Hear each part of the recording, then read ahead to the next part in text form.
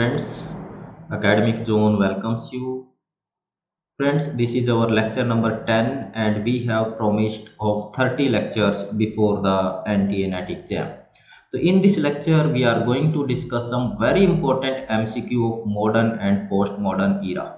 because we know very well if we talk about romanticism victorian age neoclassical age you find too much material on internet youtube and everything but if we talk about modernism and especially the postmodernism, then we find very scanty matter. So that's why today's focus would be on modernism and postmodernism. Friends, if you have any doubt regarding literature or you can say anti-net, you can send me the WhatsApp message on this given number. Let's uh, start today's session. Uh, you are requested just to share it with your friends and channel subscribe कर ले यदि नहीं किया है तो like the session very first question is who are Didi and Gogo first of all we know very well these characters appear in Samuel Beckett's Samuel Beckett's play waiting for Godot waiting for Godot It is an absurd play. Two acts are there. Basically, the play was written in French. ठीक है written by Beckett. Secondly, if we talk about uh, this play, it published in 1954. Okay, so we find two important characters. They are as Vladimir and astragan. They are tramps. Two more characters, Lucky and Pojo. And Godo, who is also a character whom Vladimir and Astragan are waiting for, but this Godo never appears. This character never appears on the scene. Okay? So it means that these two, Didi and Gogo, they are the nicknames of two important characters, Vladimir and Astragan. Vladimir is known as Didi and Astragan is known as Gogo. So these are the nicknames of two important characters, Vladimir and Gogo. It means option number C is the correct answer. if you talk about uh, the french title then there is no subtitle if we talk about english title of the play then there is a subtitle also and subtitle is a play in two acts theek hai so this is option number c that is the answer and you are also requested just to answer the question sath mein answer karte chale theek galat ki chinta mat kare just answer let's see uh, you can say how many questions you correct let's move to the next question which of the following can not be classified as fantasy fiction इनमें से कौन सा fantasy fiction नहीं है पहले बात करते हैं सभी की the first work is the Inheritors the work is written by William Golding basically Golding is famous for his Lord of Flies Lord of Flies the novel publish in nineteen fifty four and this novel Inheritors it published in 1955 it is based on Coral Island and this novel tells us about a bond of a band of ठीक है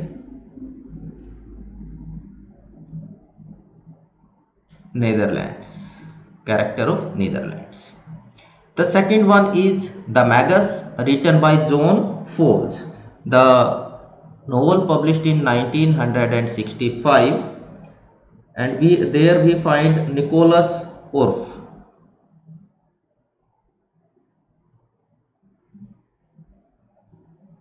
and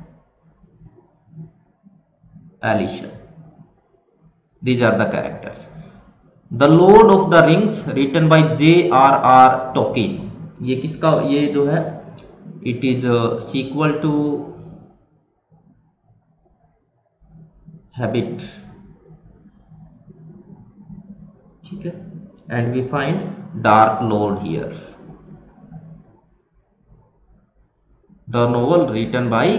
J R R Tolkien and the last one is the history of man Malcolm Bradbury so this is Howard Kirk's sociology lecture based on Howard Kirk lecture on sociology ठीक है these are the important things all the three novels one two and three they are fantasy fiction and uh, the d is not a piece of fantasy fiction fiction तो that's why option number D is the answer fantasy fiction means when we are talking about you can से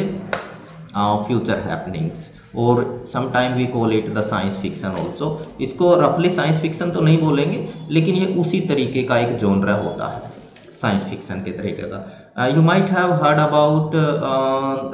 these genres also like sorry yes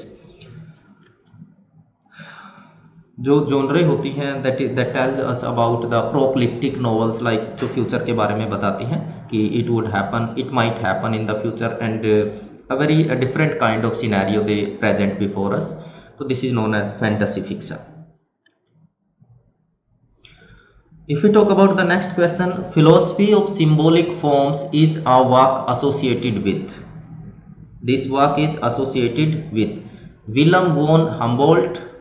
Cassier, Immanuel Kant and Battista Vico. One name that is quite common is Immanuel Kant. He is a German. ठीक है ना हीगलियन जो philosophy है उसमें आगे चल के हमें इम्यूनल कांट का नाम मिलता है but if you talk about the symbolic forms then the answer is Ernst Cassirer option number B is the correct answer. Option number B is the correct answer. Symbolic forms, philosophy of symbolic forms and association with Ernest Cassirer. Surrealism is associated. When uh, we find uh, ourselves in modern age, it is the time of avant-garde. Means so many experiments and we find many movements over there dadaism is there surrealism ठीक है नहीं naturalism we find uh, theater of cruelty and many more many more we find but if we talk about surrealism surrealism means extreme realism extreme kind of realism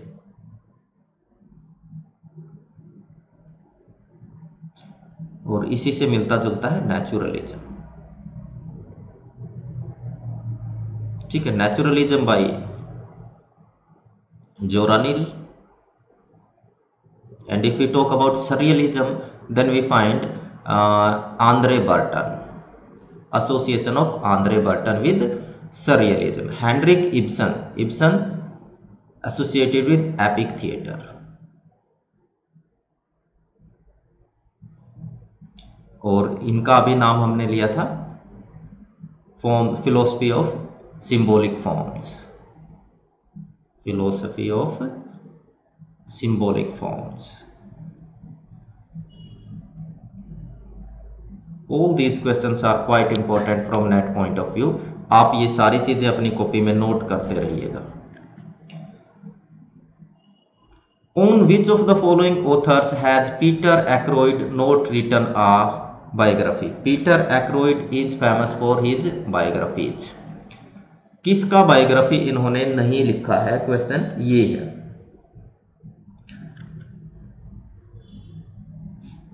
तो he published a collection of essays also that published in 1893 he wrote many biographies also he wrote the biography of Dickens William Blake T S Eliot but he did not write the biography of W B Yeats the rest of three authors का biography इन्होंने लिखा है तो option number four is the correct answer W B Yeats who is an Irish poet and dramatist is famous for W B Yeats is famous for is basically like Second Coming Prayer for My Daughter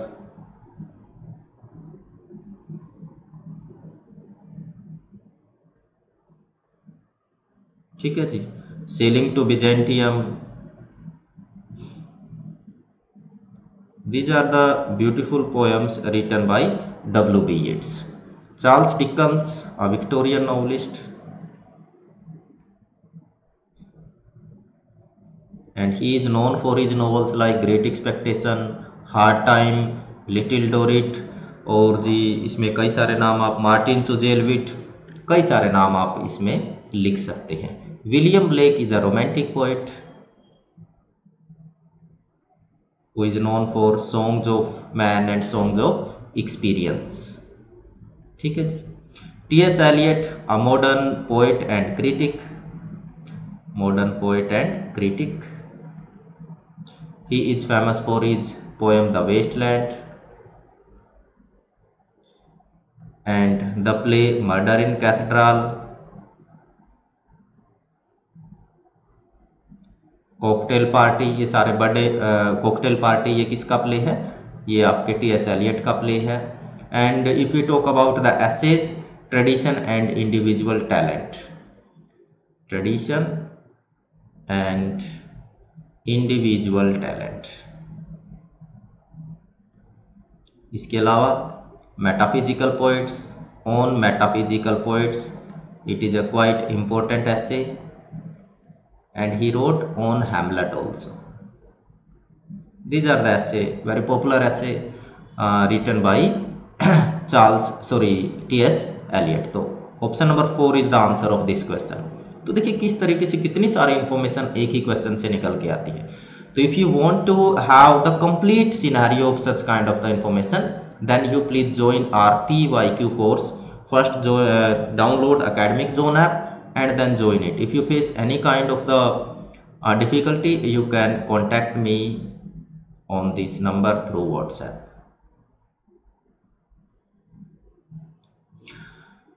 which group of the following poets was called the odin group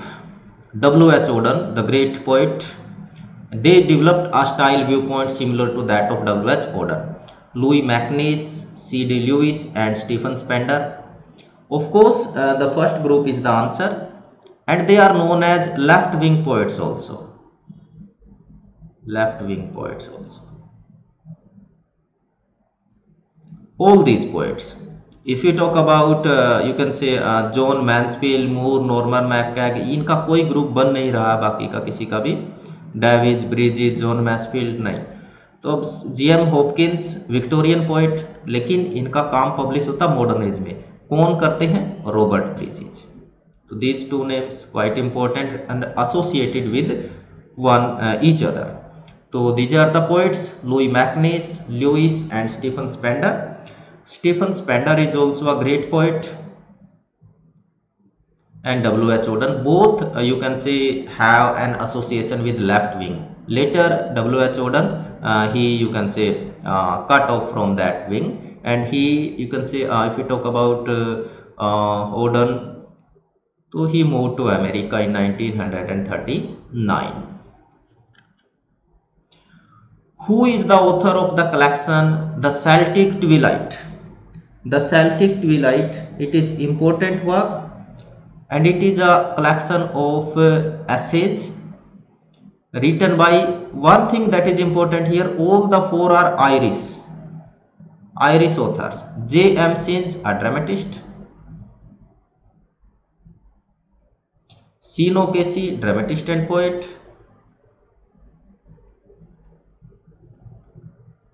W. B. Yeats, you know very well, poets and dramatic, dramatics, Lady Gregory, the member of nationalist movement. nationalist movement irish nationalist movement So these figures, W.B. Yeats and Lady Gregory and uh, Mordaunt also, they played a very important role in nationalist movement of Ireland and they also you can say played an important role in establishing the Dublin theater तो answer is इसका answer क्या रहेगा the Celtic twilight written by W B Yeats option number C means option number three it is a collection of essays on Celtic language Irish language का जो पुराना version है in her essay profession for women Virginia Woolf find an analogy between the act of writing and analogy means similarity similarity Virginia Woolf is a famous novelist and she is famous for Mrs. Dalloway, To the Lighthouse,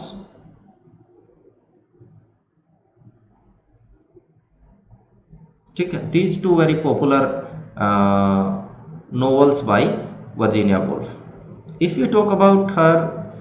contribution in feministic criticism, then Room of Vanjon,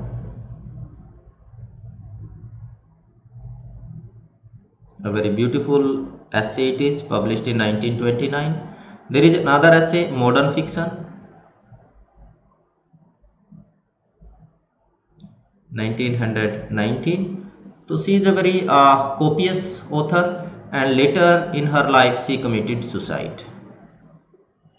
one important information about her life is she was the member of Bloomsbury group Blooms group इनके अलावा और कौन member थे उसमें Forster was there Virginia Woolf और ये बाकी लोग वहां पर थे ब्रैडबरी वोज देयर तो they were the member of Bloomsbury group and Virginia Woolf was important member of that group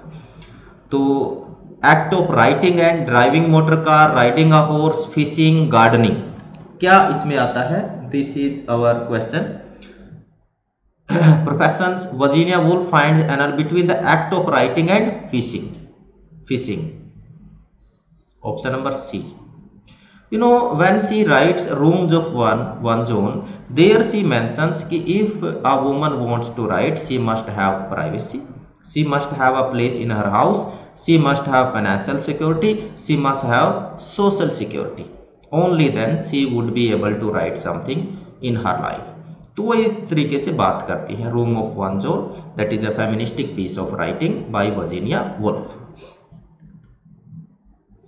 friends यदि आप एक क्विक रिवीजन लेना चाहते हैं नेट से पहले या फिर बाकी के टीचिंग एग्जाम है K V N V D S S B या सेट तो ये एक बहुत शानदार बुक है जिसको मैं रेकमेंड करता हूँ स्ट्रोंगली तो आप इस बुक को अमेजन से ले सकते हैं और इसका जो अमेजन का लिंक है वो वीडियो के डिस्क्रिप्शन में मैंने डाल दिया है फिर भी किसी को कोई दिक्कत आए तो आप मुझे इस नंबर पर व्हाट्सएप करिए I will provide you the link ठीक है you can send me WhatsApp message on this number it is a very concise book and the price is four hundred ninety nine and it contains five fifty pages अच्छी book है तो ये आप ले सकते हैं मैं रेकमेंड करता हूं इस बुक को आपके लिए another character is Ernest pontifex is a character in ये कुछ ऐसे कैरेक्टर हैं ये कुछ ऐसे वाक्स हैं जो पोस्ट मॉडर्न ईरा या मॉडर्न ईरा में आते हैं जो बहुत कम सुने हुए हैं तो that's why this lecture is important for us actually if you talk about this character sorry The character appears in The Way of All Flesh. It is a semi-autobiographical novel.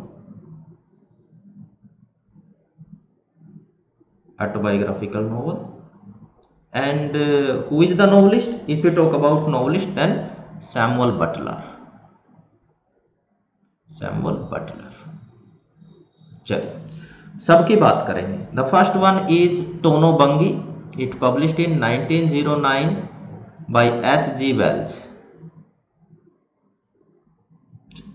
H G Wells is famous for his science fiction especially Time Machine and Invisible Man If we talk about Invisible Man, there are two novels with the same title. One Invisible Man written by H.G. Wells and second one is by Ralph Ellison. Ralph Ellison, a black novelist. Then the second novel is Man of Property. It published in 1922 and it was written by John Galsworthy. John Galsworthy उनके बारे में कहा जाता है कि Shakespeare के बाद दूसरे नंबर के कॉमिक ऑथर हैं way of the all flesh we have discussed and Nostromo Nostromo is written by Joseph Conrad and uh, in nineteen hundred zero four Joseph Conrad is famous for his Heart of Darkness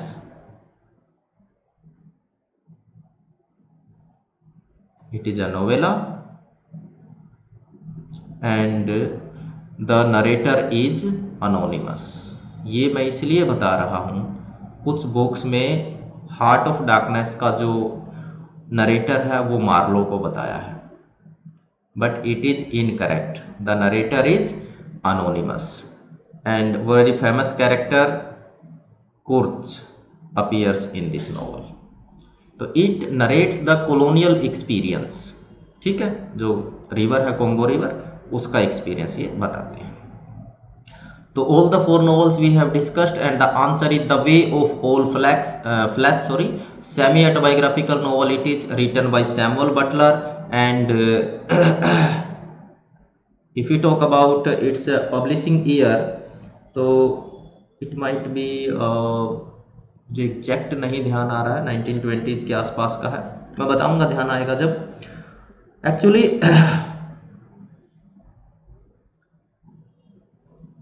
थोड़ा सा मैं character के बारे में भी बता दूं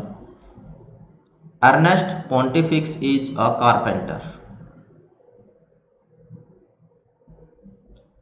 in this novel he is a carpenter ठीक है और नरेटर भी है quite important character he is let's move to the next question कुछ और क्वेश्चन इस तरीके से डिस्कस करेंगे in which of the following stories does Rudyard Kipling a colonial author and he wrote about India he is famous for Jungle Book present newspaper editor who recounts his dealings with a couple of loafers his chance in life thrown away Lispeth, the man who would be king. ये Rudyard Kipling हैं and he was a Nobel laureate also Nobel laureate इनको मिला था और जंगल book जो लिखा था वो जो बर्मीज वॉर था उसका एक्सपीरियंस ये शेयर करते हैं तो if you talk about these works तो answer would be the man who would be a king the work published in 19 sorry 1888 and it tells us about the two British adventurers.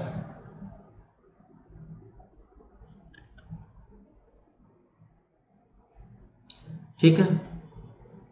और जिनके नाम है Daniel Dravot and Peachey Carnehan है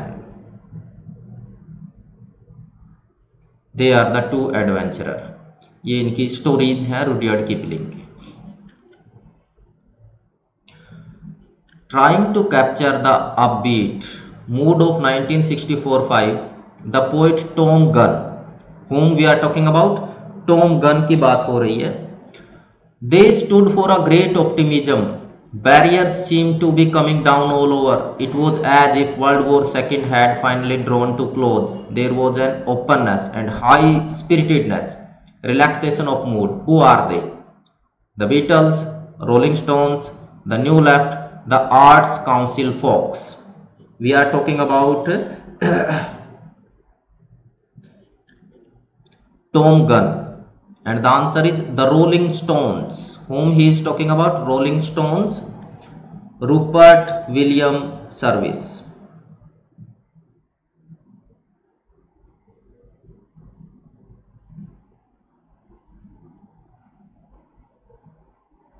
ठीक है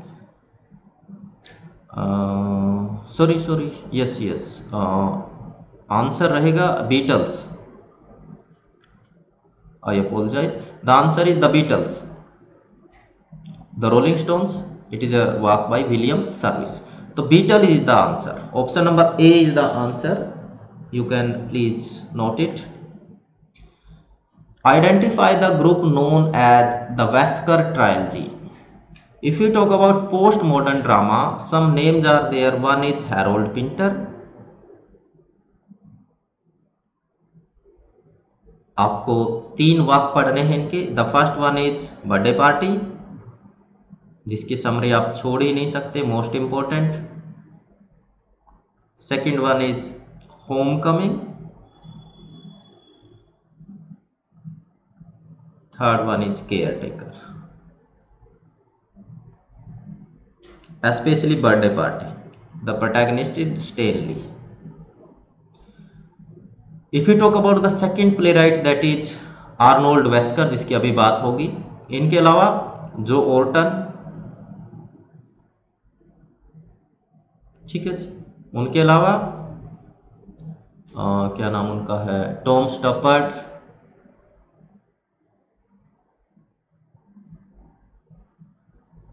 एक और नाम है आर्नोल्ड वेस्कर के साथ I will mention that name also जब ध्यान आएगा तो मैं बताऊंगा जॉन ओजबोर्नी लिख लीजिए इन लोगों को पढ़ना है एंड सैमुअल बैकेट ये नो प्ले राइट आपको पढ़ने you have to go through the important works by these playwright the growth of soil goes of life The Grip of Life, Chicken Soup, Barley Roots and talking about Jerusalem. Which one is the answer? If we talk about the answer of this question, so it is uh, not a very you know a tough task because chicken soup with barley first one roots and I am talking about Jerusalem. If we talking about chicken soup the play published in 1958 if we talk about roots 59 and uh, then 1960 I am talking about Jerusalem. These are the publishing year of these plays and all these three plays together known as Arnold Wesker Trilogy. so quite important it is. ye aap note kar lijiye and these dramas are known as kitchen sink drama इनके लिए term use हुई है kitchen sink drama note it down These plays are known as kitchen sink drama. The playwright born in 1936 and died in 2016. Postmodern playwright Arnold Wesker is. I am not an angel and I will not be one till I die. I will be myself this is ये line किस novel की है किस character ने बोला है if we talk about Maggie Tulliver in Milon the Flows, it is a novel by George Eliot. Very famous psychological novel.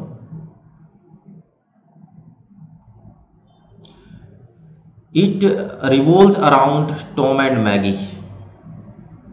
They are brother and sister. The name of the mill is Dorlocte The name of the river is Flows. That's why the title is Mill on the Flows. Ora lay in the eponymous poem. Ora lay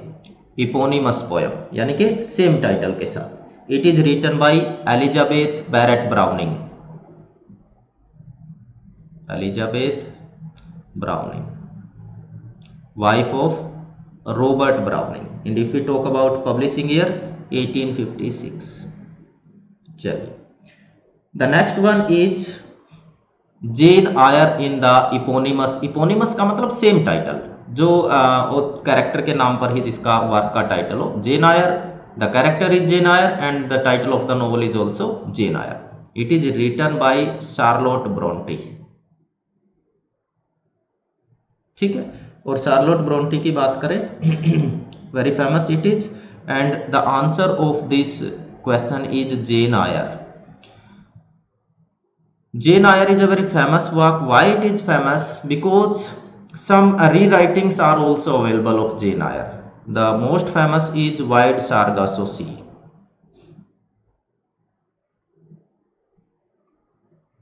by Jean Rhys there is an essay also mad woman in the attic it is written by sandra gilbert and suzanne gober both are feminist authors ठीक है तो title of this essay has been taken from Jane Eyre because in Jane Eyre Bertha Mason is there Bertha Mason is the former wife of Rochester who was mad and she was prison imprison by her own husband in the attic of his own house and she was the cause of the fire that took place in the house of Rochester जिसका Jane Nair को नहीं पता था बाद में पता चलता है तो answer is option number three Betty Hijan in our mutual friend. If you talk about our mutual friend, so it is written by Dickens, Charles Dickens. ठीक है तो देखिए सभी नॉवेल्स की हमने बात कर ली है जो इम्पोर्टेंट यहाँ से पॉइंट बन सकते थे तो let's move to the next question who among the following playwrights was the son of a gardener देखिए कई बार क्वेश्चन बायोग्राफी से आ जाते हैं इनमें से गार्डनर के सन कौन थे Pinter Orton Stoppard Edward Bond just few minutes ago I was discussing about the important playwrights of post modern era and all the playwrights are there Pinter Orton Stoppard excluding Wesker और Wesker की जगह Edward Bond का नाम इन्होंने दिया है तो यदि हम बात करें तो गार्डनर के सन है वो है Joe Orton Joe Orton option number two is the correct answer Joe Orton is famous for his play like Loot Loot is a play by Joe Orton ठीक है एक और इनका प्ले है up against some other plays are also written by joe orton but these two are very famous pinter i have mentioned all the three plays important की बात कर रहा हूं केयर टेकर होम कमिंग और birthday party If we talk about Tom Stoppard, there is a play Travesties. It is considered the most complex play by Stoppard. Second one is Rosencrantz and Guildenstern are dead. The title has been taken from Hamlet आपको ध्यान होगा जब king Claudius Hamlet से तंग आ जाते हैं तो उनको भेज देते हैं बाहर कि आप बाहर चले जाइए मूड चेंज हो जाएगा और साथ में एक लिफाफे में एक लेटर सील बंद लिफाफे में लेटर रोजन क्रैट्स और गिल्डस्टन के हाथ भेजा जाता है what was the message inside the letter कि you are to murder Hamlet but Hamlet's friend Horatio he change the letter letter को चेंज कर देता है तो जो टाइटल है it has been taken from Hamlet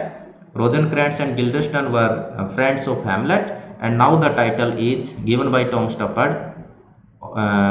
Rosencrantz and Guildenstern are dead the last one is Edward Bond Edward Bond is famous for early morning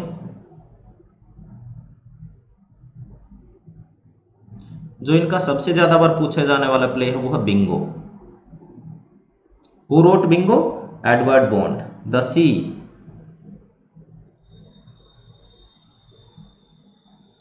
These three are important plays by Edward Bond. So,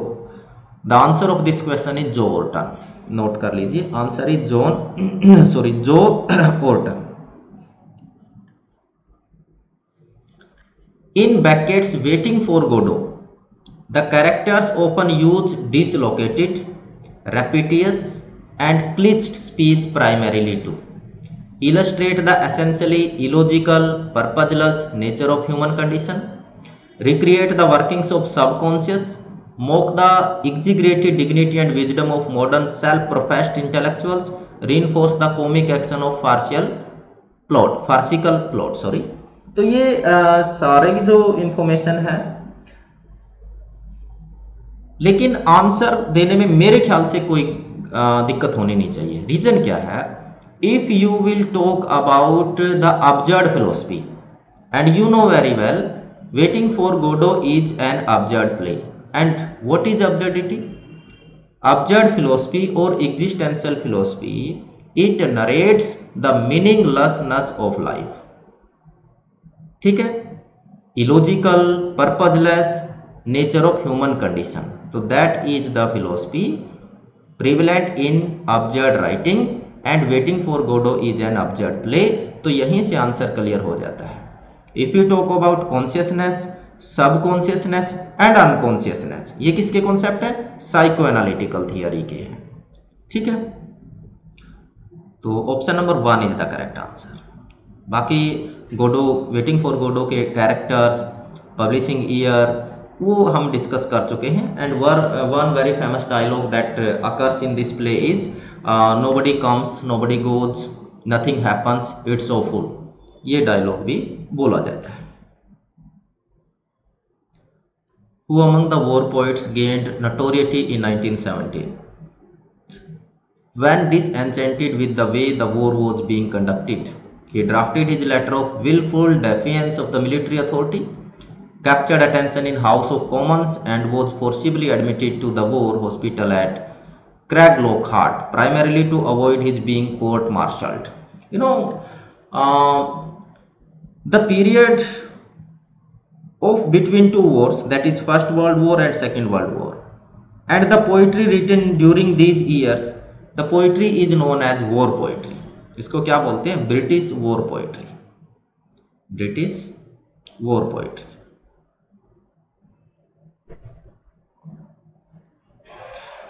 and Rupert Brooke, Sassoon and Wilfred Owen. All these poets are known as war poets. ये भी question बहुत बार आता है इनमें से कौन रोज war poet है और कौन war पोइट नहीं है they are known as war poets लेकिन यदि हम इस क्वेश्चन की बात करें तो we are talking about Sassoon here Siegfried Sassoon who is a war poet and he wrote poetry also all the three person they had the practical experience of war. They fought during First World War and that's why they had better understanding of war and after that we find a very different kind of notion especially we find in Sassoon and then later we find in uh, George Bernard Shaw's Arms and the Man also anti-war play जो war का एक utopia जो बना रखा था idealism जो बना रखा था नेशनलिज्म से जोड़ के and bravery and all these things तो उसका बिल्कुल एक अपोजिट साइड देखने को मिला तो वो हमें मिलता है ससून में वो हमें Arms and the Man play by George Bernard Shaw तो they are known as war poet and if you talk about this context तो Siegfried Sassoon is in there in a remarkably prolific insight. Critic wrote the following anticipating Benedict Anderson's definition of nation. Benedict Anderson, who is famous for his imagined community, concept of imagined community. An imagine political community देखो यहाँ भी दे ही रखा है और ये question भी आया था आई थिंक यस्टरडे और day before yesterday we discussed about imagine community Benedict Anderson most novels are in sums and knowable communities It is a part of traditional method and underlying stance and approach that a novelist offers to show people and their relationship in essentially knowable and communicable ways. The definition given by uh, Anderson. To name the critic and the reference, Van wick Brooks, Raymond Williams, Joseph Wood, T.S. Eliot. मेरे ख्याल से इसमें भी कोई ज़्यादा सा आपको difficulty आनी नहीं चाहिए because we know very well whenever we are talking about culture whenever we are talking about all these concept we find a name in uh, british scenario that is raymond williams raymond williams was associated with cultural materialism he was a marxist thinker तो यहाँ पर भी Raymond Williams ही हैं और जो work है that is the country and the city by Raymond Williams The Culture and Imperialism, very famous work by Raymond Williams.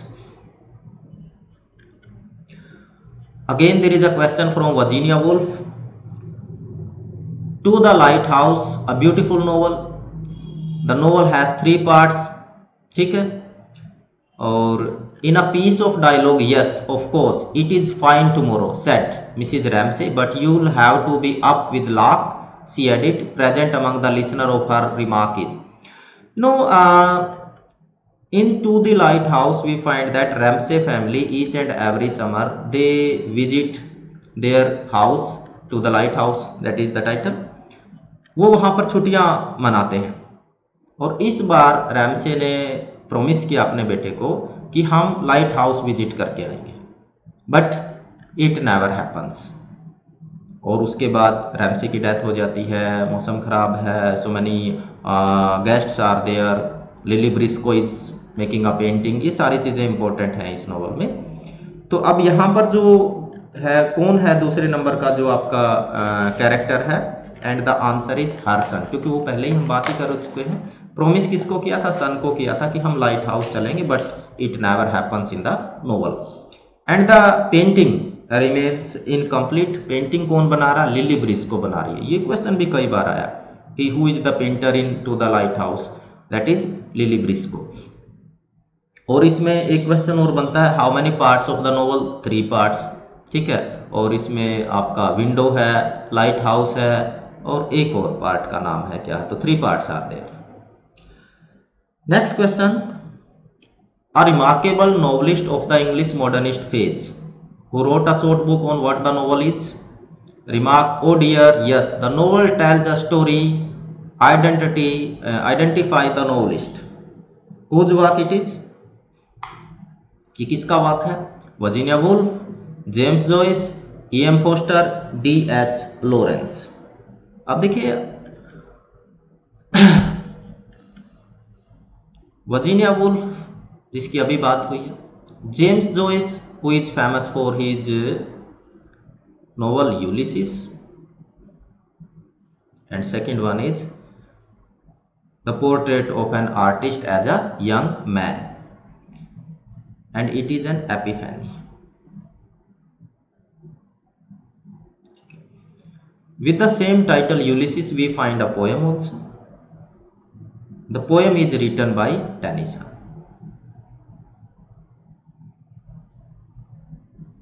English में यूलिसिस बोलते हैं और ग्रीक इनको बोलते हैं ओडिसी ठीक E M Forster who mainly writes about east west relationship he was homosexual member of Bloomsbury group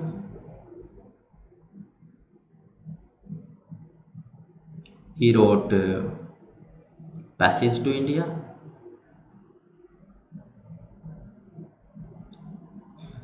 And he wrote aspects of the novel.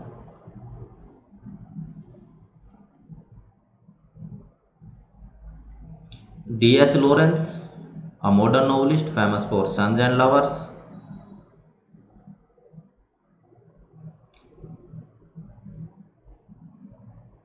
Women in Love,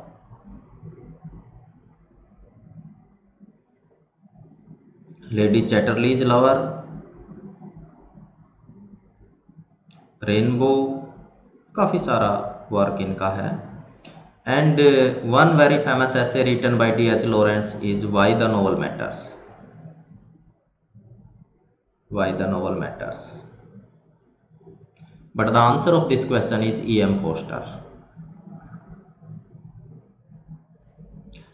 confusion यदि हो सकता था तो वो लॉरेंस और फोस्टर में हो सकता था क्योंकि दोनों ने नोवल के बारे में क्रिटिकल राइटिंग किया है but the answer is Forster T S Eliot found spiritual support in if you will go three go through T S Eliot Waste Land तो you will find the impact of Hinduism Buddhism in the work of Eliot, but mainly he was a Christian. The last line of the poem is Shanti, Shanti, Shanti, and uh, Davyam Dattam also. Sanskrit word भी वो use करते हैं but the answer is Christianity mainly जो है वो जो moral support मिलती है वो मिलती है उनको क्रिश्चियनिटी से लेकिन ये दोनों भी इम्पैक्ट है इन दोनों का भी उनके ऊपर but the answer would be Christianity because he was a Christian mainly Who among the following was born in India? Paul Scott, Lawrence Durrell, Forster V S Naipaul अब देखिए यहाँ पर एक डाउट हो सकता है कि बच्चे नाइपोल पे आंसर कर सकते हैं but actually Naipaul is not an Indian basically उनके पूर्वज यहाँ से कैरबिया चले गए थे कोई तीन चार जनरेशन पहले and then Naipaul settled in London now he is living in England means London Naipaul won Nobel prize also for his work a house for Mister Biswas तो he was not born in India पहली चीज तो यही clear होनी चाहिए यदि हम बात करें सॉरी तो नाइपोल नहीं है फोस्टर भी नहीं है Lawrence Durrell is the answer Paul Scott भी नहीं है यदि हम इनकी बात करें नाइनटीन ट्वेल्व टू नाइनटीन का लाइफ स्पैन रहा है जालंधर में पैदा हुए थे इनके फादर जो है इंडिया में आ, जो कंपनी थी ब्रिटिश कंपनी या इनका ब्रिटिश राज था उस टाइम पर यहाँ पर एम्प्लॉय थे और इनकी बुक है the black book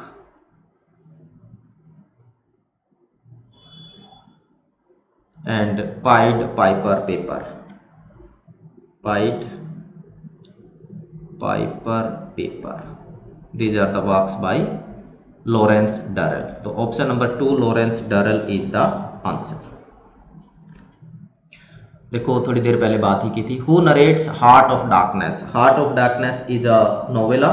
It is written by Joseph Conrad and the narrator is unnamed narrator or anonymous narrator कुछ बुक्स में मार्लो दिया हुआ है but it is incorrect Kurtz ये वहाँ का जो लोकल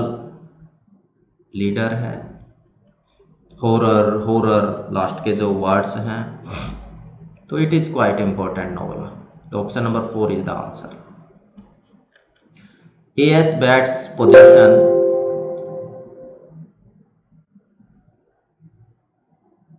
attempts